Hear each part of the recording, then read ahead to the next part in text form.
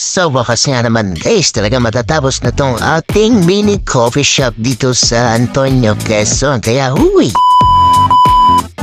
Hello, we're say hi to my video song. Araw na ito at nagdilinis pa rin tayo at nag-aayos at nagdi-design itong ating coffee shop dito sa Quezon guys. Ito nga naman ay talagang ating pinag-isipan yung simpleng coffee shop lang guys. Hindi naman yung talagang sobrang na rin coffee shop abang naman. So kung anong meron lang tayo dito sa ating bahay na pwede naman natin ilagay dito sa ating coffee shop na isya natin ilagay hindi yun puro bili na lang tayo ng mga gamit. Ay Diyos ko puro di kailangan natin ng magandang income. Bako natin talaga palakihin at pagandahin tong ating mini coffee shop dito sa Pesbit dahil nga naman sa bagyong kiyan Diyos ko po itong si Christine abay na delay yung aking mga orders at hindi agad narating dito sa amin. Kaya naman ayan at gumawa tayo ng parang para na malibang yung ating sarili at talagang mag-init na din ang sikabu pero talagang wala nang magawa sa buhay. Kaya eto guys at ating pagagandahin ang pagagandahin. Kumbaga yun si bilang naman ay kung gaya ng mga R&D design ay trend So para naman pag tayo ay nag-open na guys ay talagang mang okay na okay na lahat. At ayan meron dyan shawarma kape. At ito din yung ating mga pang display dito mga signages ng mga coffee yan na so tinan mo pa picture Diyos ko po hindi pa kami nag-open ay talagang mga dami nagpipicturean din sa loob kasi nga man sobrang relax ng place guys at sobra din namang ganda at aesthetic mo para talaga sa mga kabataan at sa mga estudyante at syempre sa aming mga millennial millennial Huy! Ito ang mga pinagkakapit natin dito sa taas ay yan yung mga saying kumbaga yung mga pang motivational na quotes na atin sa Facebook. Kaya siyempre pag makita mo yan abay ma ay maiinggan nyo ka naman nga sa buhay. Yung habang yung tapos babasahin mo lang yan abay talaga nung makakarelax. Siyempre mapaisip ka din na pwede nga pala yung mga ganyang bagay sa ating buhay at ating lang ang buhay ay sadyang ganyan. Yung talagang laban lang sa buhay, yung kahit ang mga problema na marating sa atin. Nabay, relax lang guys, dadaan lang yan at hindi yan mag-stay. Mo lang kaseryosohin yan naman. At pag sineryoso mo, hindi ka ay magkaka-anxiety at depression. Diyos ka puro day. Kaya manayos na sabi, abay, enjoy, enjoy lang kahit maliit na bagay. Dapat natin enjoy lahat ng bagay na nangyari sa atin. Hindi yung seryosohin at Diyos ka po nga naman ay talagang ikaw tanang kakaproblema problema banderiyan. Uy, eto na yung aking mga binil na pinagdikit dito sa ating mga tables guys at talagang napagat na parang tunay na bahay nga naman guys. Ay nakaka katipid ka talaga pagka nitong hindi naman talagang purong kain. Medyo may datingan guys, medyo may datingan sa picture sa camera. Kita mo yung wallpaper natin yan. Akala mo naman ay wood panel. Diyos ka po ay wallpaper lang yan guys kasi nga wala pa mahal ng. Eh, eh, pag ito lahat ay wood panel guys. Diyos ko po, rude ay talagang naman sobrang gastos. Eh, di dito muna tayo. Talagang mapag nag-click at nag-boom tong ating coffee shop ay malay may banderiyan ay talagang naman sobrang laki na ng ating coffee shop nga naman. Ay di mangarap at libre ang maharap.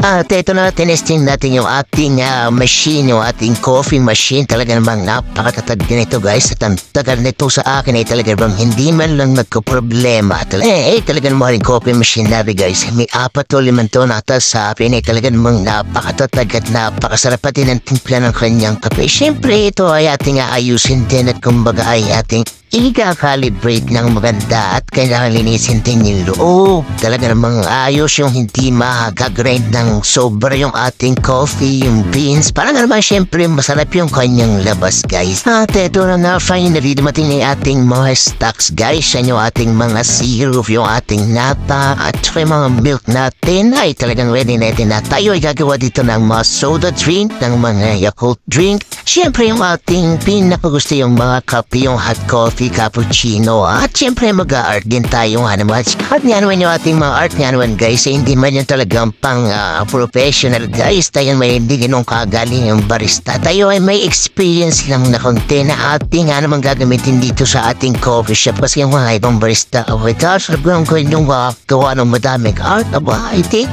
tayo ay basic, basic lang yan. Dumating na din yung ating mga syrup, yung ating matcha. Tapos yung binubuksan ko yung ating mga glass na gagamitin natin guys. Mas pinili ko naman itong ating glass na ang cup niya ay strawless guys. Para naman medyo social tingnan. Hindi yung gagamit ka na ng straw. Kana kasi na ito sa mga ibang coffee shop guys. Sabay kahit nga naman itong ating coffee shop. Eh syempre dapat may dating din sa cup na lang. Dapat may dating yung talagang magandang klaseng cup yung gagamitin natin guys. Yung nakikita natin sa mga wahaling coffee shop nga naman. Huy.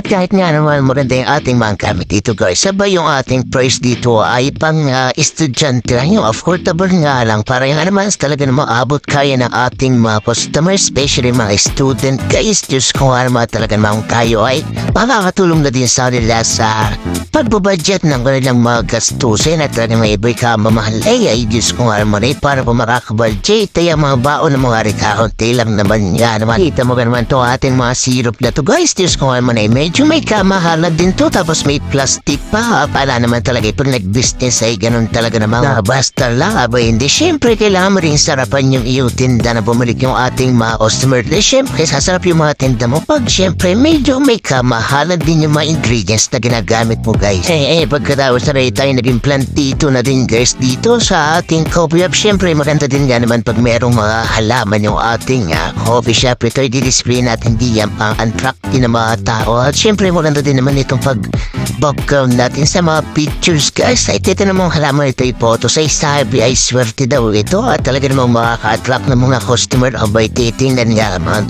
At ito naman ay madali din nilang buhayin. Kaya naman okay na okay dito sa ating copy. At dahil nga sa marikot na pag-iisip, abay naisipan ko itong ating signage. Eh, bakit hindi ko naman ilagay dito sa labas para nga pag-ilaw ay kita na ng customer kasi dito sa loob ay medyo tago nga naman sa customer hindi nila malaman na may cap ganyan pala dito sa loob. Eh, ito nga pa rin mga halaman natin guys siya nakalagay sa ibabaw ng ating mga tables at ito yung ating ginawang ilaw at matlaman natin mamaya kung talaga nga naman maliwanag at talaga naman makaka-akit sa mga customers. At ito pa din guys, yung mismong ilaw ay ate ding inayos ay Diyos ko nga naman na ito sa sobrang katagalan na hindi ko alam at bakit hindi na umilaw di ang plan natin dito ay pag-display lang sa mga tables. Dagdag attraction yan man sa ating uh, aesthetic na coffee shop. Ayan ay talaga mong ayaw na humilaw. Ayan ang gagawin ko guys. Eh, ito nga naman at tinabot na tayo ng gabi dito at atin namang nilagyan ng mga ating kape yung ating mga jardian para naman maganda din tingnan. Ay, napakabaw ng ating kape guys. Alam mo kung yung ating kape gagamitin dito ay talagang love your own lang barakong kape ating gagamitin. Kasi nung ating uh, last na coffee shop ay talagang mang nagustuhan ng ating customer yung timpla ng kaping barako tapos ilalagay sa ating mga ice coffee ay talagang mang nagustuhan nila guys. Talagang mga kailangan nating pagkalinisan. At ito na yung ating coffee shop guys. Kita mo nga naman napakalman ng lugar, napaka-aesthetic at napaka-relax. Kaya naman kung gusto yung pumisyal dito, abay open na po kami guys today. At ito na yung ating coffee shop na makatabi lang nung ating pizza. Akala mo ano may ito yung coffee shop lang? Abay hindi po guys. Ito ay katabi lang nitong ating A&J pizza kasi sayang yung area pag hindi natin nalagyan ng coffee shop. Ayan yung ating pizza dito na talaga namang napakasarap at napaka-affordable din guys. Ang dami nga naman tatanong kung saan daw yung ating coffee shop. At ito ni-review natin guys. Ito ay katabi lang nitong ating A&J pizza dito sa San Antonio Quezon. Kaya ano pa hinintay nyo? Tara kape dito kaya ano pa hinintay nyo? Abay punta na dito sa A&J San Antonio Quezon. May pizza na may kape pa. Kaya naman kumpletong kumpleto na hindi ka na pupunta sa lugar pa bumili. Okay guys, thank you for watching. Please like, share, subscribe, and peace out.